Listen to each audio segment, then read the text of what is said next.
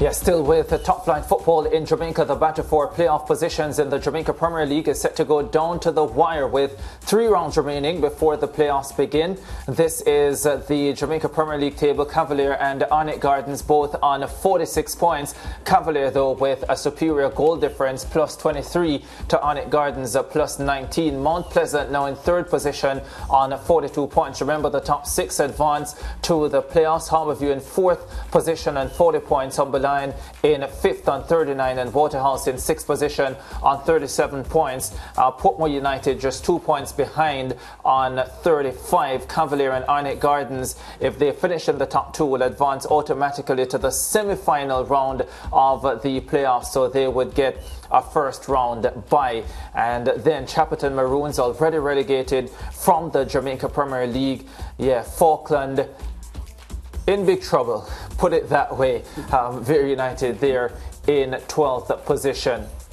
This is what we have to look forward to this weekend. Portmore United will play Humberline, Molynes United versus Tivoli Gardens, Waterhouse versus Cavalier. That should be a great game. Faulkland versus Arnett Gardens. That game will be live on Sportsmax. The Sportsmax games on Sunday coming from the from Montego Bay. Montego Bay United to play Harbour View and then Dunbeholden versus Vere United and Mount Pleasant versus Chapelton Maroons matches to be carried live on your home of champions as well.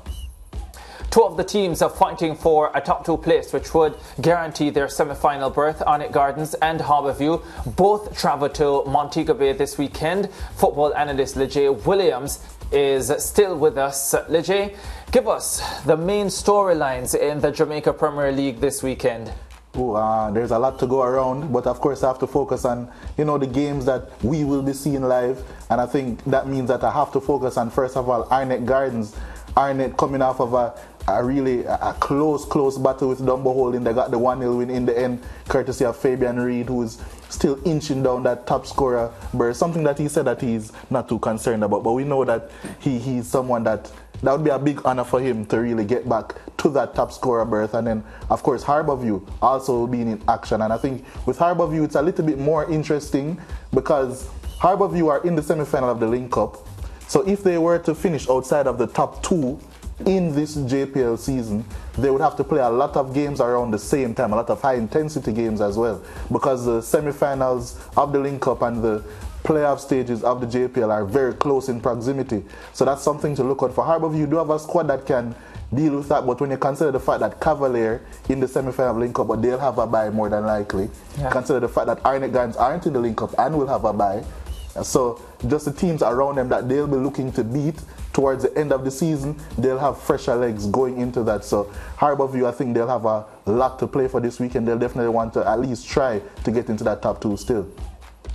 Yeah, and um, the Montego Bay doubleheader uh, that we are focusing on on, on Sunday. Uh, which of those? Well, the Faulkland fixture isn't, you know, that, but it's it's a team that is in their home base. So I guess from a fan standpoint, that will be an important fixture for the fans in attendance at the Catherine Halls uh, Sports Complex. But your thoughts on the, the, the, feature game of the evening? That's Mobay Harbourview. Mobay have been playing really well as of late. Uh, they're, they're, they're well they did concede a big scoreline to Dunbeholden a couple weeks ago. Yeah. But I think that's more that goes against what they've been playing like. They've been much more aggressive and forward thinking as well. So I think they're going to give Harbour View a very rough time. But Harbour View are known to deal with this end of season pressure well. And uh, well, they have, yeah. yeah, they have been, and they're, they're champions for a reason. So they're going to be getting into it. Um, last weekend it was it was a weird game against Molynes to say the least. So I don't really want to put too much stock into that draw. I think against more mid-table-ish opposition, all things being equal, I don't see why they wouldn't come away with a win against Montego Bay this weekend. Yeah, that Portmore United Humble Lions game, I think, is going to be a massive one. Huge. Because it could go a long way in determining who gets into the final six. How do you see that one going? That's that's a really tough one. Humble Lions have been playing some really good stuff, and especially they've been really really sharp defensively. Yeah. They're the best defensive team in the league at this current position. Uh, so it's Portmore, they're going to have to go all out to try and break down that unit and then stop Humble Lions from scoring as well. But even on that thought, the Waterhouse game, that's going to be a very big game for them as well because Waterhouse, they have to get a result to stop Portmore from breathing down their neck. So a lot of big games all around, but Yeah, big big time. Towards the end of the season, we're going to see what teams are really made of. Yeah, and just to point out that if uh, Portmore United win and then Waterhouse lose, then Portmore United would leapfrog Waterhouse into a playoff position. So which they had a couple of weeks ago. a couple of Yeah. weeks Yeah, ago. yeah. So yeah, a lot could happen based on how the, the matches turn out this weekend. Yeah, Waterhouse are holding on. Portmore chasing them just last week. Portmore in sixth and Waterhouse them because Portmore dropped points. So there's, I think there's going to be a lot of top top turby there. Each team are going to leapfrog each other from now until end of the season. But uh, some big results to go around still. Yeah, there was also some news from Cavalier this week. Two of Cavalier's linchpins, Reggae Boys Dwayne Atkinson and Richard King, have secured moves to the Icelandic League and will be leaving the island this weekend. Yeah, what kind of an impact will this have on Cavalier season, Leger? I know that this is Cavaliers' model of you know developing players and then moving them on, but this is huge. This is huge for them. These are their two best players in my opinion. Dwayne Atkinson, the source of everything that they really create from an attacking sense. He has over 10 assists in the league if you're counting one penalties as well. He has 10 goals in the league as well. So he's just been playing extremely well for them this season. I know Sir Lance is very fond of him as well. Yeah. And Richard King is a young national defender. Yeah. So he's a, a key part of what everything that they try to do, not only in defense, but he also moves into midfield as well.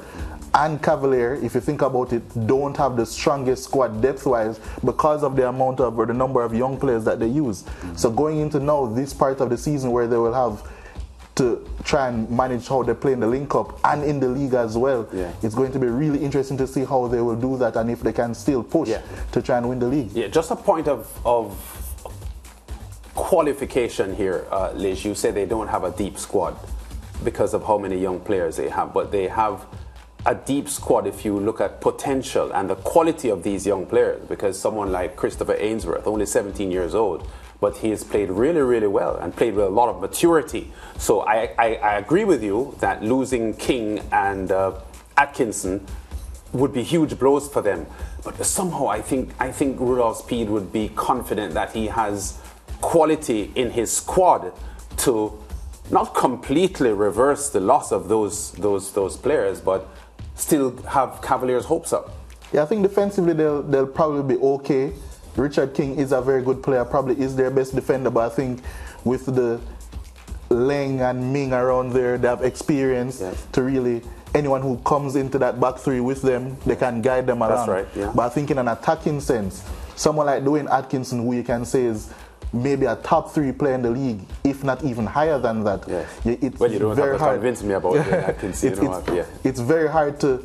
It's not only the output you have to replace; it's just the influence. Yeah. So in certain games, yes, they have Ronaldo Webster, for example, Ronaldo Robinson, for example, who are good attacking players, but it's a certain influence. Those players will float, float in and out of games. In those big playoff moments, as we saw with someone like Trayvon Reed last year, when you need someone of just extreme quality to carry over the line, that's what the Dwayne Atkinsons of the world are for. So Yeah. it's going to be Agreed. interesting to see how they Yeah, move on. agreed. Yeah, Good point. We're up on a break and talking about quality uh, to bring you over the line, DJ. I can't let you leave without asking you this. Where was the quality when Arsenal needed it to take them over the line today? You see this behind me? The Jamaica Premier League segment, so I'll leave that Yeah, one but, for but no we're comment. wrapping up and we're, we're giving you an opportunity to talk about your beloved Arsenal. Are you that hurt that you can't I think the producer foster a response? He's think the- not. He's talking to me. he's talking to you as Lish, well. do better than that. Come on. you can't mount a defense for Arsenal.